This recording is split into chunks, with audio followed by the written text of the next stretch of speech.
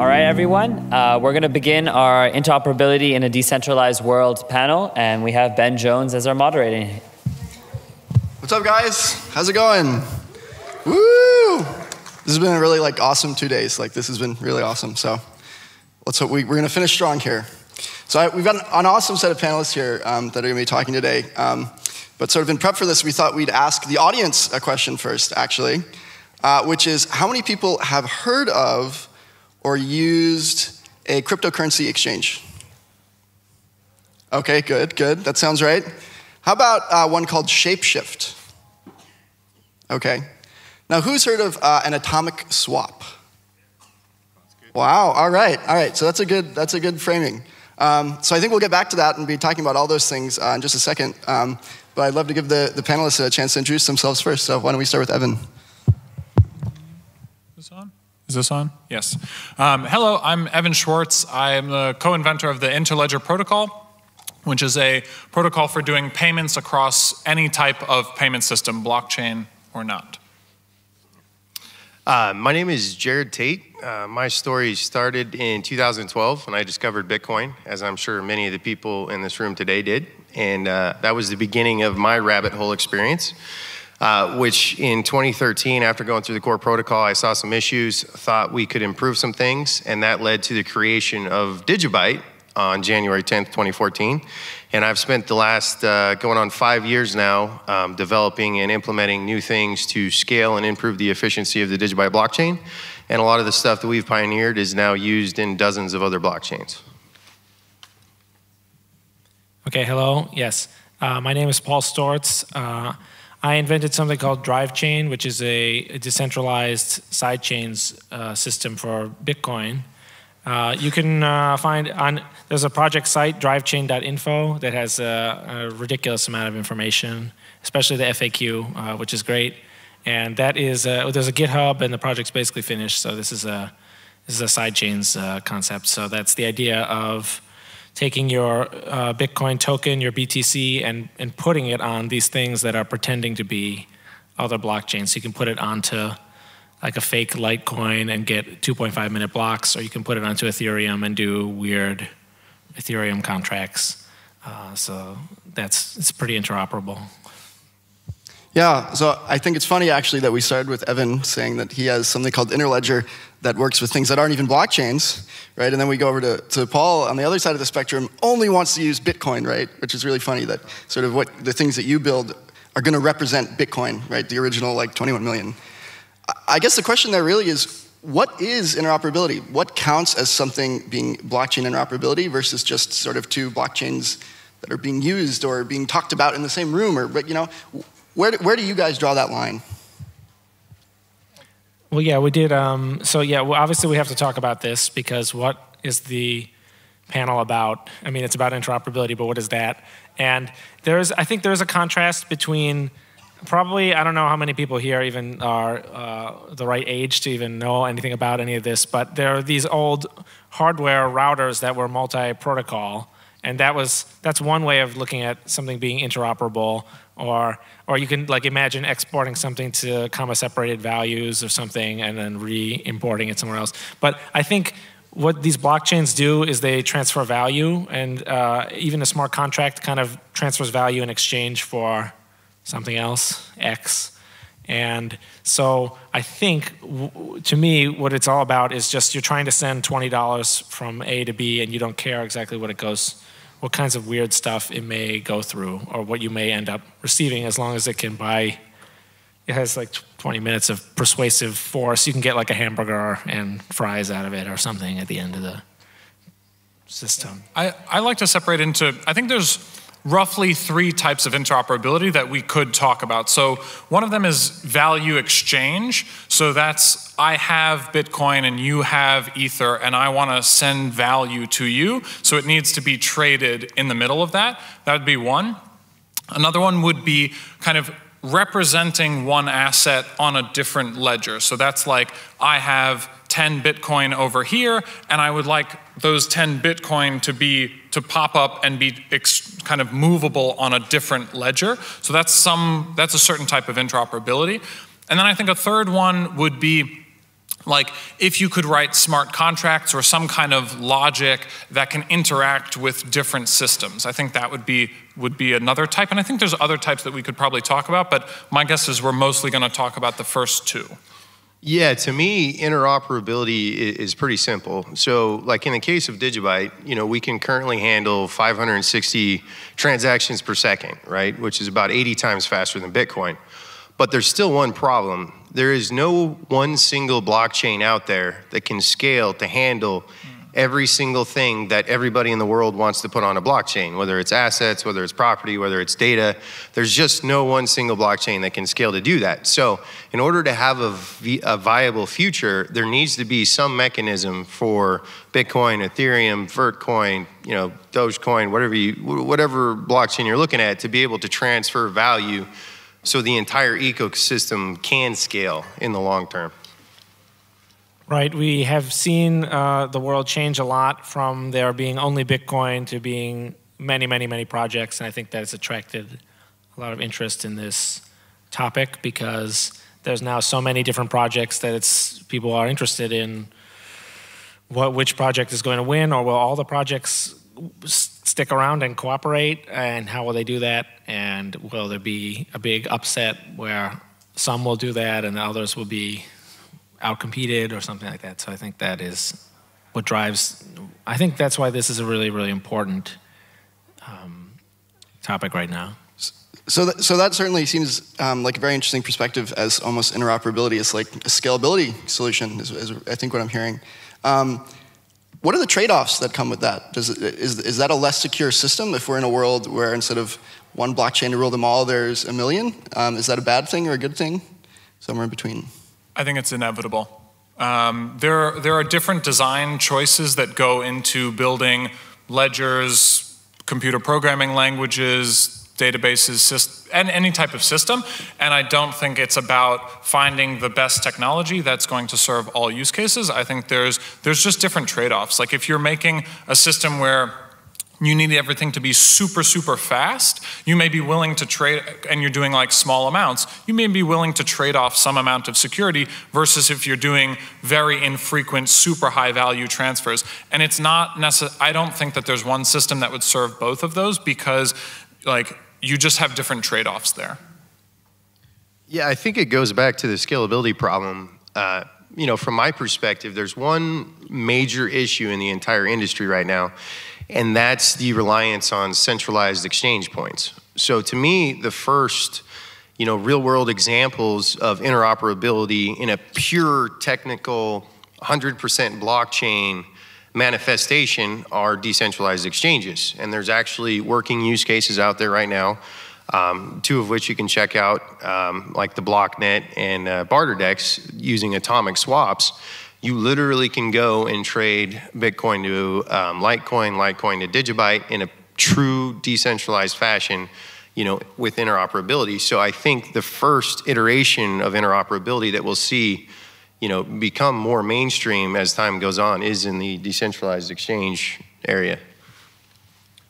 I think um, I think interoperability is kind of like you're cooperating versus competing, you are competing on the technology, but you're cooperating in some sense where you're agreeing to honor something about the other system's uh, decisions or uh, features. And so I think it's going to be very difficult. It's like what you were saying before, Jared, where you were saying uh, that people want so many different things, and the blockchain is kind of like very.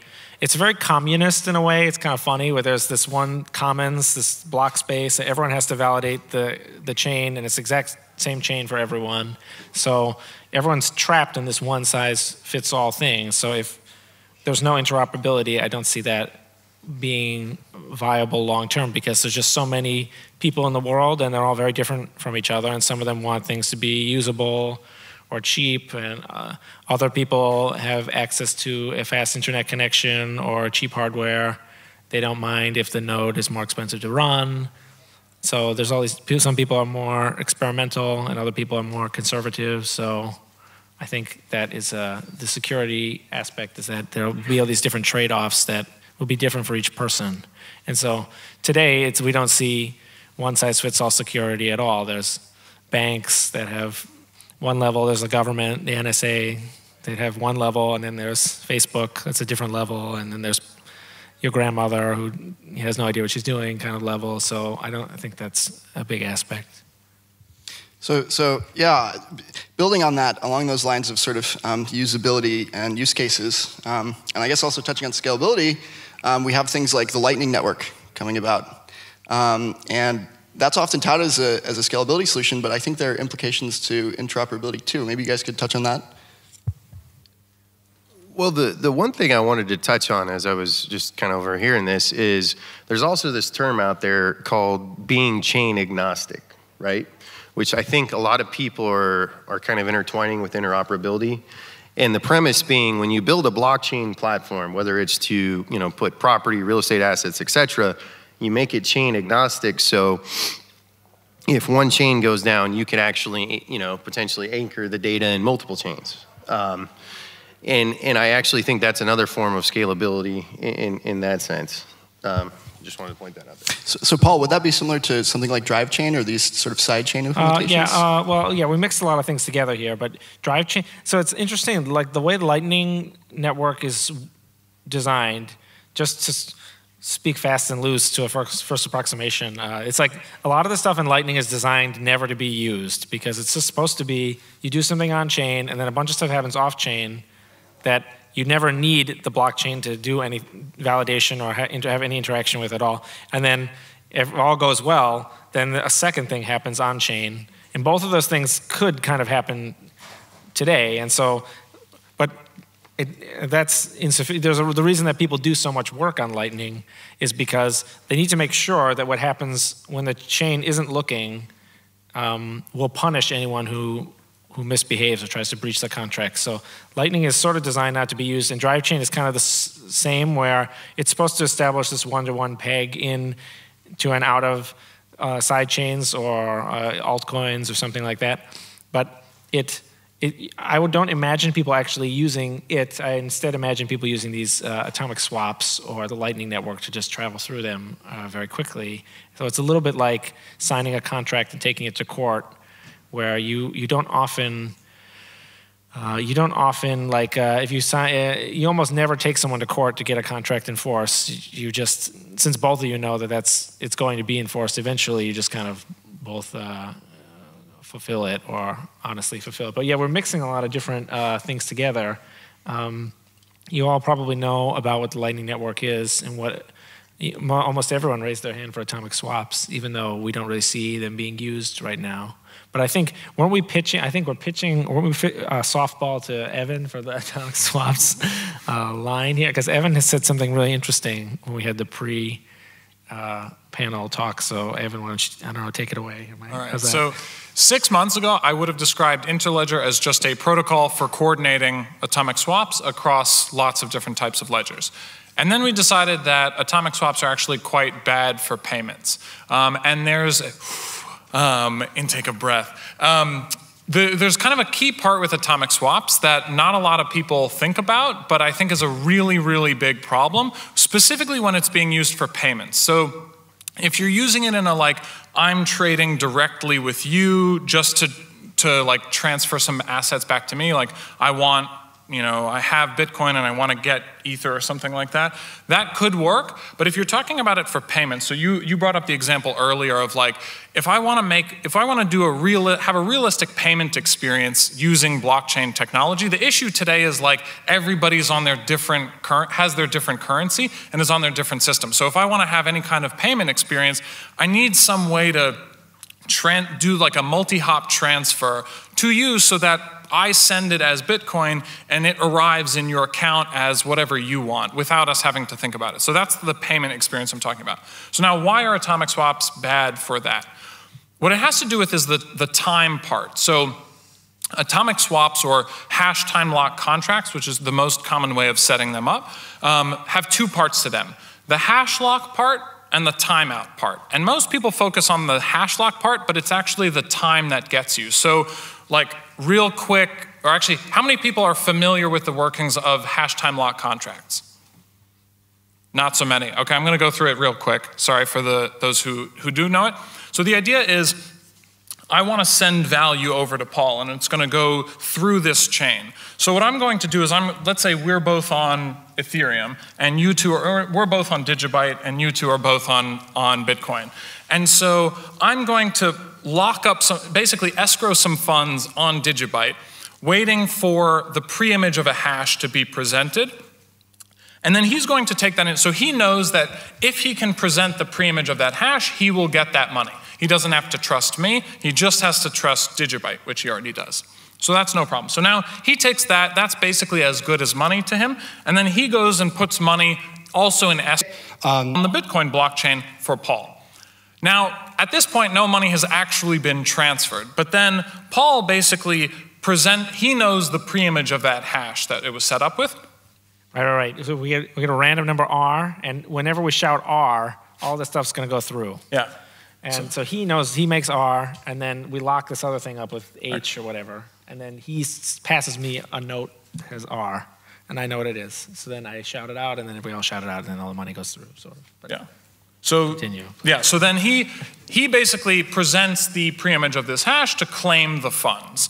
And so he presents it, the Bitcoin blockchain transfers the funds to him, and then as the intermediary, he can pass the blockchain, uh, pass the the preimage over to Digibyte, and then Digibyte will transfer it. So that's an atomic swap. Sorry, we don't have like better gra or like graphics to explain it. I hope that was a little bit clear. So now the, the issue there, so that hash lock part is the idea that I'm escrowing funds with some hash, and there's also a timeout, because the problem is if I lock up my funds over here, and he just doesn't do anything, I don't want it to get stuck forever. Like at some point, I need to, it needs to be like, okay, this is not happening. I get my money back.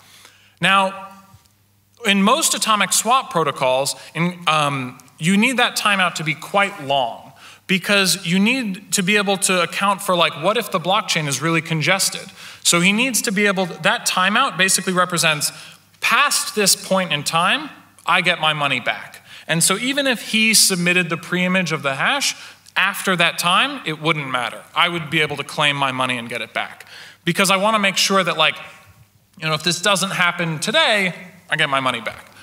The problem is that for the intermediary, he has to basically lock in an exchange rate for the full duration of that swap. And so the reason why that's a problem is think of the volatility of cryptocurrencies. Now imagine I came to you and I said, I want to buy some cryptocurrency, but I want to give me a price that I can, I can accept, use this price or, or take this option at any point in the next 24 hours. How would you, what price would you put on Bitcoin to Ether for 24 hours? It's really crazy. So he basically has to lock in that exchange rate. And the bad thing that can happen, sorry, I'm going on kind of long, but just to finish up, the bad thing that can happen is that I can, I put my funds on hold he puts his funds on hold. And then Paul just waits. Paul just waits 24 hours to see R, if the exchange rate moves in his favor.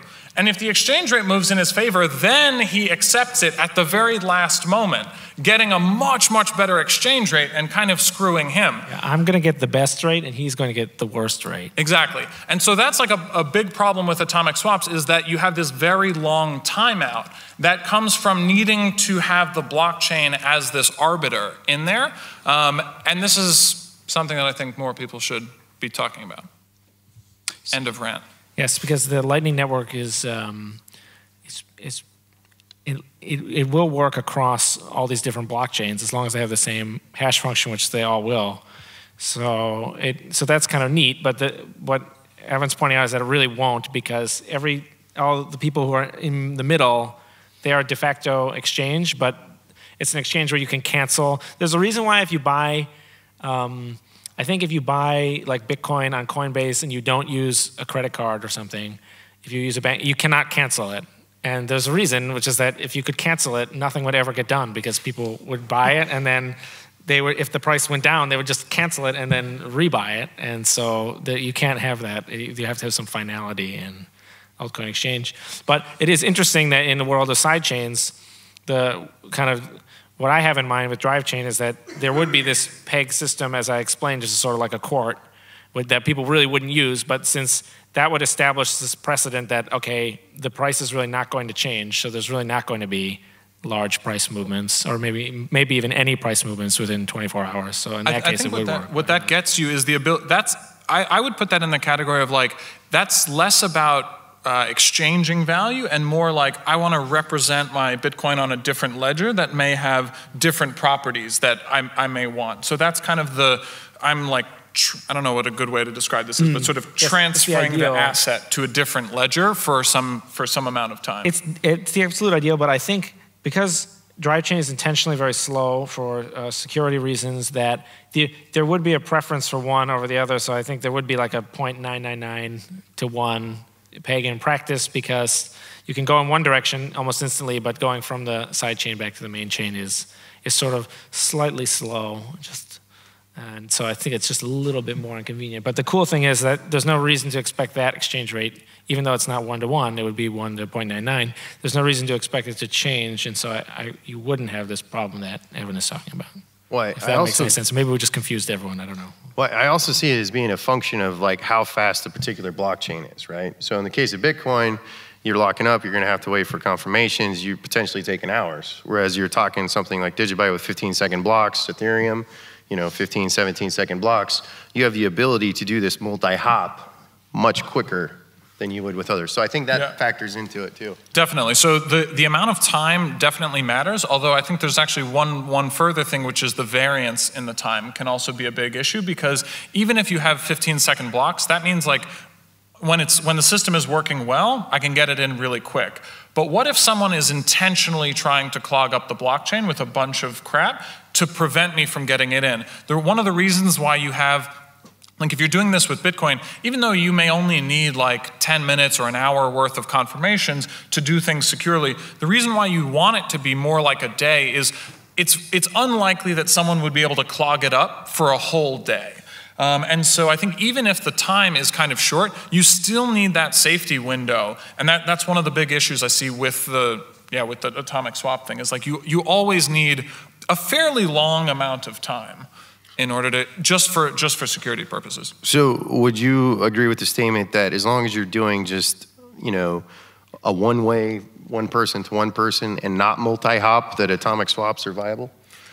Like in the I- case of decentralized exchanges, if it's, you know, party A to party B and there's no party intermediary? I think that what what makes it what makes them a little bit more viable in that scenario is that um, you know, like the sender is also the receiver in a way. Like if it's going from me Right. to you back to me, then I like want to to use this. And so the problem for the sender in a multi in a multi hop thing is that I don't actually really have control over whether this works. So I think it may be a little bit better, although um, you still need a mechanism to prevent the some party from just putting the funds on hold and then not accepting it for a long while. But that's easier to do in a kind of one-to-one system. Yes, the atomic swap could be very, very, very fast. So it could be like I pick random number R, and then I make H, which is hash of R, and then I say, okay, I'll give you four Litecoin, only if some, only if you know what R is, though. But here's the H, and then you say, okay, uh, and then you say, fine, since it's already locked to this H, he reuses the same H, and he says, well, I'll give you, you know, whatever, 13 Ethereum or 100 Ripple or something, locked to the same H, and then I either say R or I don't. And it is a similar problem where I can just wait and see do I get a more favorable rate um, or not. But, you know, it's, it's so fast that the whole, the whole thing could be negotiated in like 10 seconds, and then the timeouts would maybe be very, very fast as well. So at a certain point, I would just be like, do I want to play games all day, or do I want to just do what I came here to do, which is trade Litecoin for Ripple or whatever? So would I be right in uh, thinking that this atomic swap problem is like front running? Is that is that a term that people use? Well, that's kind of what we're talking about. It's sort of like um, it's not so much front running; it's like um, It's a free back a running free or something. It, it's so it's it's not front running, but it's taking advantage of a free option. Is that when I'm an intermediary in an atomic swap, I'm basically giving an option to buy currency at a certain price up until a certain time. it's kind And- of you're kind of guaranteeing that you will be front run. It's just sort of weird. Uh, front running more describes like if you have an exchange and there's different people placing orders that Of course, you it's not. get, No, get I mean, it- I agree. It's not technically front running, but it's the same like effect. It's like very you're similar. just someone is a loser. I think it's it's important to note here that the, the problem with like a decentralized exchange is just simple market discovery. Like what price should be people be setting the buy and sell for these things at? You know, who determines that if it's actually decentralized? So that is that is one of the problems that still has to be worked out. So it's better better with sidechains because it's all it's all one to one or one to 0.999 as I was saying. So you don't have to worry about it. But that it is a problem the way it is now. Um, so Evan, does Interledger um, share this problem? I, I know Interledger is sort of separate from Lightning, but maybe connected. Maybe you could talk to that a little. Yeah, so as I said, we, we were doing atomic swaps and then took them out. And so what we replaced them with, I call a hash time lock agreement, which is different than a contract. So um, the way it works is we kind of saw this problem, looked at a variety of different ways of approaching it, and decided that in order to reduce this problem in a multi-hop scenario, you need to make the timeouts very, very short. So we want the timeout to be on the order of 10 to 30 seconds, which means that you can't have the blockchain as an arbiter at all because there's no time for like if something goes wrong in those 10 seconds, there's no way to like go say, hey, blockchain, like this guy tried to screw me. So we kind of have a different setup. And um, the, the setup is similar to what I described before, but without the blockchain ensuring anything. Um, I can walk through that flow if, if that's of interest. I yeah, I also I want to make sure we have time to get questions from the audience as well. So maybe it would be a good time to start um, lining up for that. If you guys have questions for the panelists, um, I, I, do think that this sort of model of liquidity is bandwidth that you talked about in your talk earlier today is very very fascinating, Evan. Um, so yeah, so the, generally the interledger approach is just you do it super fast and with relatively small amounts. So the free option is there, but it's like an option to buy a tiny bit of currency for a tiny amount of time. So it's not really a problem. Um, and so we think of money as bandwidth, which separate topic, but yeah. Fascinating. Okay, um, well, do we have any uh, audience questions? I think I saw you there. Yeah. Yeah. Um, so yeah, there's a question for everybody, but I think Paul, uh, I read you know some of the material about drive chains, uh, and then I've been playing with Lightning a little bit. So the, the principles are all there. Then I hear everybody in the space talking about the same things. Um, but is I don't know if you can elaborate, but um, is opening and closing a payment channel on Lightning pretty much like um, building new blocks onto a sidechain in a sense? Uh, I think they are similar, where you are um, you're suspending some money in something new. So you could think of. I think actually it's uh, you, you, can imagine a Lightning Network hub, so to speak. Like it's Lightning Network is a little more economically efficient in hubs, if you ask me. So it could be a little bit more like like banks, but strongly that is like frequently misrepresented to slander the Lightning Network, which is I don't intend to do. But the I would imagine that it'd be easier if there was a more hub and spoke type Lightning model where you'd have you you'd go into with one big hub and you'd have all these people connected to you and then those hubs would be connected to other hubs maybe this is just confusing everyone but i think the idea of a, a hub that has lots of different channels connected to it i think that is really really anal uh, analogous or analogous. How's that word pronounced? I don't know. But whatever it is, um, that's similar to uh, having a sidechain because someone can deposit, they can peg in or go main to side with these transfers, and then their money is in the same kind of pool as everyone else's. So I think that uh, Lightning Network Hub and a sidechain are very similar. I guess just kind of a larger theme here in yeah. that I see a lot of people trying uh, working on projects that seem to be doing similar things. And i'm wondering if does lightning network Because i know you have like those two bips uh, on there and i was reading through them and you kind of need that to be uh, signaled by enough nodes for it to be actually be implemented in a bitcoin core. But does lightning let does lightning network let you do side chains a little bit on like a on like a layer two kind of uh, no or? it doesn't. So it's uh, lightning lets the lightning network is really awesome. Um, it lets you do anything that can be done on chain can be done on the Lightning Network, but it doesn't go the other way around. And that's what sidechains try to do is they say, well, here's what you can do on the main chain, and then you can do different things if you want, uh, slightly different security. But uh, with Lightning, the advantage is there's absolutely, it's totally ironclad. There's no, um, there's no human reactivity uh, or kind of any kind of game theory or interaction at all, or any kind of investment feedback at all. Whereas with sidechains, there's this very, very, very slow thing that's intentionally to create a, a very tiny little loop powered by human feedback or just powered by just uh, an, an, investor uh, loss of confidence in the, the side chain or the main chain. So thanks. Okay, yeah, I think next up uh, on this side. Hi, yeah. So I had a question about uh, the Interledger protocol. You talk about how bandwidth is essentially analogous to how much money you have or how much credit you have. And I feel like that raises some privacy concerns with regards to essentially being able to identify very easily who has how much. Yeah, good question. So um, the reason we think about, there's a couple reasons why we think about money as bandwidth, and it's basically like, if I'm an intermediary in a system like Interledger or, or in Lightning as well, um, my limit is how much money I have. So if you, I'm trying to forward payments for you, um, that's limited by how much capital, working capital I have. Now the reason to think about it as bandwidth is that if you come to me and you say, oh, I want to do a huge volume of payments right now, effectively what that may do is lock up a bunch of my money in payments meant for you. And so you could kind of take advantage of that to make it so that when someone else comes to me and wants to make payments, I'm unable to because I don't have any more money to facilitate their payments. So you need to think about the working capital that you have as bandwidth. And it's actually, funny enough, it's, it's actually very similar to like internet routers have a certain amount of bandwidth that they can route uh, and need to allocate it to different parties so that one user can't just use up the entire ISP's bandwidth. So that's kind of, in a nutshell, why you think of it as bandwidth. And then the other question about privacy. So um, Interledger is built much more in a hub and spoke model than something like Lightning, I think, is going for. And the idea there is they're all like, um, most people don't have that much money.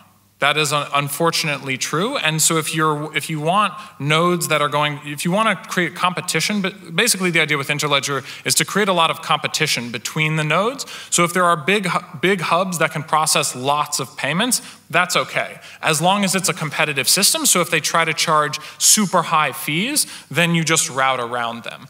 Um, but it's it's not a problem if you know who the hubs are per se. Okay, cool. Thank you. Cool, yeah.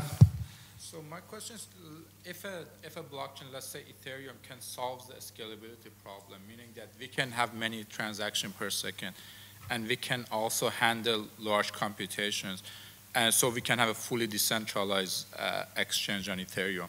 So what's the number one reason that interoperability is important? Have you met Bitcoiners before? I'm saying that kind of in a joke, but like, um, um, in, in all honesty, like I think even if you had a system that was very scalable and could do a lot of fancy stuff, I think you would have other people that would. Say this is one of those trade-offs: is how much, how many features are there? So for one application, you may want there to be a lot of features, but that's also a much bigger attack surface. I may want a system where it doesn't do a lot. I don't want my you know, I want my blockchain to be very tailored to one specific use case, and I, more features is actually a bad thing. Um, and so I think that's just another trade-off that you make in terms of how many features does it support, and do you want a Turing complete blockchain, uh, Turing complete language in your blockchain? Some people would say definitely yes, and other people would say definitely no. And I don't think you'll ever get those people to agree. No, absolutely. I mean, even uh, narrowly considered only on scalability, if you, if you had scalability as like miles per gallon of a car or something, uh, even if you had a car that was very, very, very fuel efficient, it could go a million miles per gallon. You would have people. Some people want to buy a car that has a large gas tank, and other people just want a car that has a small gas tank. So obviously, if you had some kind of infinite uh, miles per gallon, it would not be uh, an important consideration. But that's not going to happen. So you even if something's very scalable, you will have, in a population of 6 billion people, there will be disagreements over what is appropriate. To, to kind of summarize this for the audience, there's this term out there, you know, you're talking about Ethereum, the virtual machine model, versus the rigidity in the secure UTXO model that doesn't allow for as many, I guess, flexibilities. But there's also this proven model that's been around for almost a decade now that doesn't have a lot of the issues. And you know, going back to Ethereum specifically, there's no way that every ICO and startup out there is going to scale their business commercially on top of Ethereum. It's just, I mean, look what CryptoKitties did, right? It brought it to a halt right away. So there needs to be this interoperability, and there are scalable UTXO solutions out there as well too. So.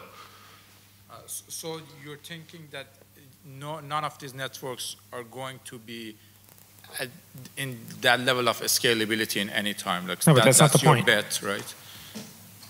No, it's I, not I the point. It has nothing yeah. to do with. Uh, like, it's the one size fits all that we're talking about. No, no, like your, yeah, I, I got your answer. I, I agree. Uh, but uh, um, yeah. Yeah, I, I, don't think we're looking at a, a winner take all scenario here. It just, it just technologically can't happen. Cool. Uh, on the side, maybe next. Hi. Yeah. Um, I, am the guy willing to ask a, a stupid question. Um, but I, am kind of curious from a general standpoint, this, this uh, the volatility being a problem uh, for the interoperability. But I'm wondering, once these problems with interoperability get, get kind of solved in whatever way they do, do you guys think it will contribute to stability uh, in general? So there's less volatility, there's just more kind of cooperative uh, you know efforts because there's everyone's so linked together. That's just oh, a general question, uh, you know. No, absolutely. There's because you don't you have to have something to fight over, and right now there's the one is a, we have a one size fits all world, and so you have a reason to harass someone, which is to get revenge on them for not putting your thing in or whatever. And so, but before, but in, a, in an interoperable world, you just start up your own new thing and plug it in, and then it's everyone's cooperating. I think so. I think absolutely. You were saying more tranquility among as far as the people who are interacting, right? So that's absolutely yes. Which kind of fundamentally resembles how the internet itself works, you know, in its current format, with various corporations and organizations sharing access and I actually don't think that interoperability will, will necessarily affect the stability of exchange rates because basically you, with cryptocurrencies you have free floating uh, exchange rates that are not managed by like a central bank, for example. And so I think you will probably always have like some amount of speculation on them, um, potentially driven by people deliberately trying to move the market uh, for their benefit. Um, things like that. So I, I would expect fairly volatile exchange rates, maybe until like if there are services that are priced in cryptocurrencies, um, then the value of that service may make it a little bit more stable over time. But I think as long as they're kind of uh, largely driven by, or a lot of the price movements are driven by speculation and it's not managed, then I think you'll see pretty wild exchange rates. Cool. Yeah. Sounds like we've got time for just one more quick question. Thank you. Uh, hi, my name is Arthur from Liquidity Network. Thank you so much for this panel. It's very interesting. Um, I have one little comment on the um, Lightning hubs. So um, I actually don't believe that the Lightning hub is efficient because each individual channel uh, you would need to manage collateral uh, for each particular channel, and you can only swip, swap this collateral with an on-chain transaction, which is very expensive. So you wouldn't be able to manage the, the collateral in bulk. But the question I have to you is um, on the security side, because everybody is saying, good, I have this new chain and has so many transactions per second, and I think in interoperability, it's important to quantify the security. So, for example, how many blocks do I need to wait in Ethereum to have the same security in Bitcoin, like for six Bitcoin blocks? Or if you have your blockchain X, how long do I need to wait for a transaction to clear in order to have the same security in another blockchain? So, if we're talking about interoperability, do you think maybe of like a standard to quantify security of a transaction? So in, in the interledger model, the way we think about this is you trust whatever ledgers you want, um, and you shouldn't have to understand or think about the security of any other system. And the whole idea is that you should be able to make a payment to anybody in the world, even if they're on some crappy system that you don't trust at all. When they say they've gotten paid, that's good enough to you because that means they'll give you the service that you want. And so the whole model is about kind of localizing the the security or the or the risk so that like if I'm paying you through some series of hops and you happen to be on like a really good ledger or a really bad ledger, it doesn't affect me at all. And the only thing that I have to trust is like the systems that I'm directly connected to. Awesome. All right, I think we're out of time, so how about a round of applause for our panelists?